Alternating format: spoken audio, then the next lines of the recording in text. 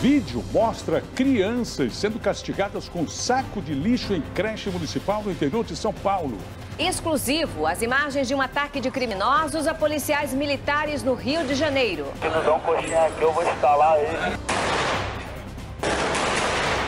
Advogado argentino suspeito de corrupção no caso FIFA é achado morto em estação de trem. Coronel da Aeronáutica é assassinado dentro de túnel no Rio. O presidente Michel Temer diz que o Brasil tem tendência à centralização e ao autoritarismo. É porque o povo também quer, acaba desejando. No fundo é isso. Militares ocupam capital do Zimbábue e residência do presidente mais velho do mundo é sitiada. Tanto o Reino Unido quanto boa parte da comunidade internacional podem fazer vista grossa à ação militar. Um balão de 50 metros de comprimento causa pânico em São Paulo. Tamanho de bagulho. A volta do Internacional à elite do Campeonato Brasileiro. E o presente milionário que o Papa Francisco ganhou e quer leiloar para ajudar comunidades cristãs do Iraque.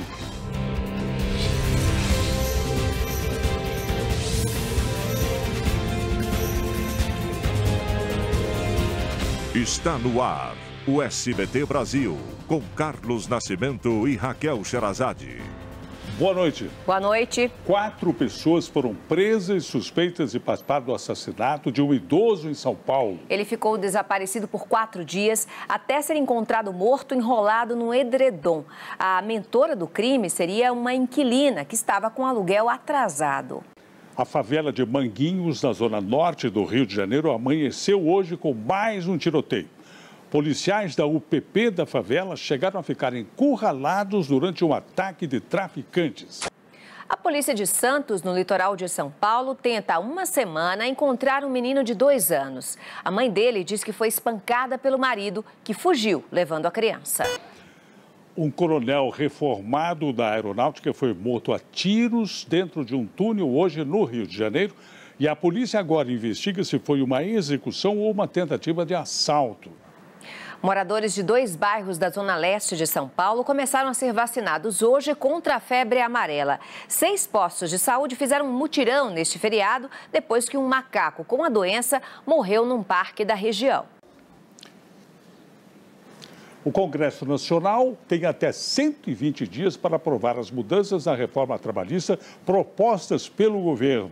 As alterações protegem as mulheres grávidas de locais com risco à saúde e criam uma quarentena para a adoção do trabalho interinamente. O presidente Michel Temer disse hoje que o Brasil tem uma tendência à centralização e ao autoritarismo. Falou também que muitas vezes é o próprio povo quem tem esse desejo. A declaração de Temer foi dada no interior paulista, onde o presidente participou de uma homenagem à proclamação da República. A Procuradora-Geral da República, Raquel Dodge, recorreu da decisão do ministro Ricardo Lewandowski, que tirou o sigilo da delação premiada do marqueteiro de políticos do PMDB. Renato Pereira afirma que venceu a licitação para desenvolver o Pato da Fiesp, aquele contra alta de impostos, e isso com fraude. A Fiesp afirma que as citações de Renato Pereira não merecem credibilidade e que são mentiras, produzidas por um profissional que teve seus interesses contrariados. A assessoria de imprensa do governador Luiz Fernando Pezão informou que todas as doações de campanha foram feitas de acordo com a Justiça Eleitoral. A defesa de Sérgio Gabriel não se pronunciou. A assessoria de Eduardo Paes afirma que a delação é mentirosa e que Renato Pereira cita fatos que depois diz não terem acontecido. A Odebrecht informou que está colaborando com as investigações e nós não conseguimos contato com a assessoria da senadora Marta Suplicy. Veja em instantes. Militares ocupam a capital do Zimbábue, na África, e deixam o presidente cercado em casa. Estudante de medicina e lutador de MMA são presos e suspeitos de assassinar moradora de rua no Rio de Janeiro. Você vai ver já já.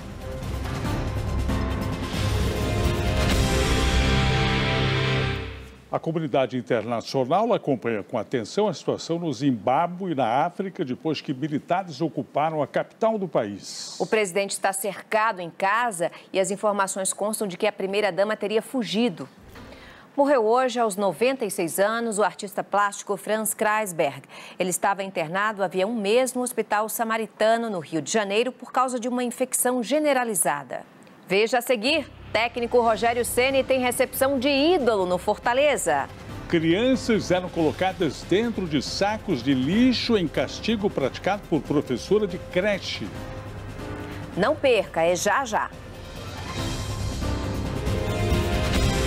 Três dias depois do aeroporto mais movimentado do país fechar por causa de um drone em São Paulo, hoje foi um balão que causou transtornos. Outro aeroporto do Campo de Marte chegou a fechar e por pouco não aconteceu um incêndio.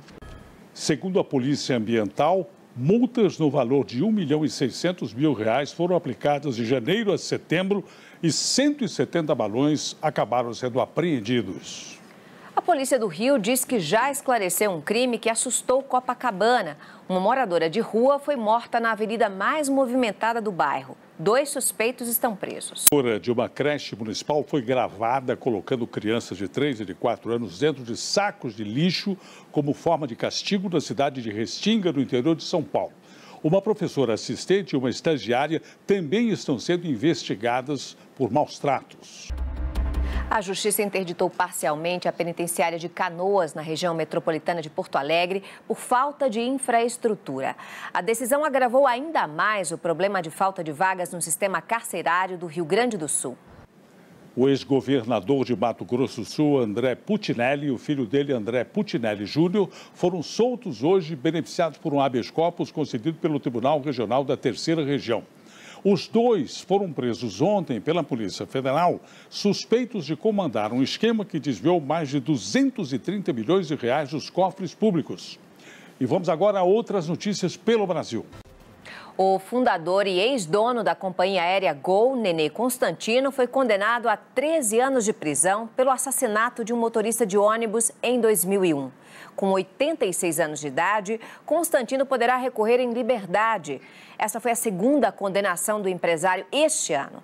Na primeira, em maio, Constantino foi sentenciado a 16 anos de prisão pelo homicídio de um líder comunitário.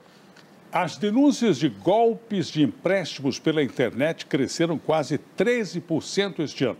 Falsas financeiras enganam as pessoas endividadas com a oferta de dinheiro fácil e rápido. A Prefeitura do Guarujá, no litoral paulista, começou a retirar os quiosques da faixa de areia da Praia da Enseada, que é uma das mais movimentadas da cidade. Todas as construções deverão ser demolidas até o fim do ano. As mudanças no comércio da Orla são discutidas na Justiça desde 2010, mas só iniciaram agora, há poucos dias da temporada de verão.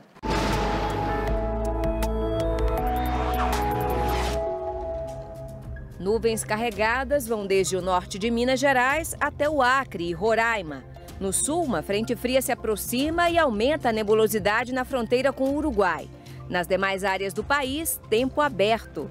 Até o fim da noite de amanhã, um sistema frontal, que é o encontro de massas de ar diferentes, avança no Rio Grande do Sul até o Paraná e causa chuva na madrugada de sexta-feira. No centro-norte do país, a intensidade da chuva diminui, mas ainda há risco de temporais no sul do Pará e de chuva forte no noroeste do Amazonas. Em Manaus, máxima de 31 graus. Em São Paulo, chove no fim do dia e a máxima chega aos 32. Até o fim da semana, a chuva continua em boa parte do estado de São Paulo, inclusive na capital paulista. No Rio de Janeiro, o calor continua e chega aos 34 graus. Hoje, as praias ficaram cheias. Apesar da temperatura alta, muita gente aproveitou o feriado no Rio para se exercitar. Na paisagem, só o Cristo Redentor. Nada de nuvens. Pesquisadores do Museu Emílio Gueldi, no Pará, participaram do estudo que elaborou a nova edição do Atlas da Vida. O trabalho, em parceria com cientistas internacionais, catalogou mais de 30 mil espécies de animais do nosso planeta. Um advogado argentino suspeito de corrupção no caso FIFA tirou a própria vida ao ser citado em um tribunal de Nova York. O escândalo envolve empresas de mídia do mundo todo, inclusive do Brasil. Patrícia Vasconcelos. Falta apenas uma vaga para a Copa da Rússia e está entre as seleções do Peru e da Nova Zelândia que vão se enfrentar nesta madrugada em Lima. Pelo Campeonato Brasileiro, a Ponte Preta venceu o Atlético Paranaense. No Ceará, Rogério Ceni foi apresentado hoje como novo técnico do Fortaleza. O Internacional está de volta à elite do futebol brasileiro. Hoje, sem muita euforia, torcedores recepcionaram o time em Porto Alegre após o empate com o Oeste, que garantiu acesso à Série A. Quem precisa de um celular novo, de uma televisão ou até de um eletrodoméstico está na contagem regressiva para Black Friday. Os lojistas prometem muito bons descontos na última sexta-feira do mês e os consumidores estão animados. Uma pesquisa revela que mais da metade dos entrevistados pretende gastar mais de mil reais em compras. Boa noite. Boa noite, Brasil. Tchau.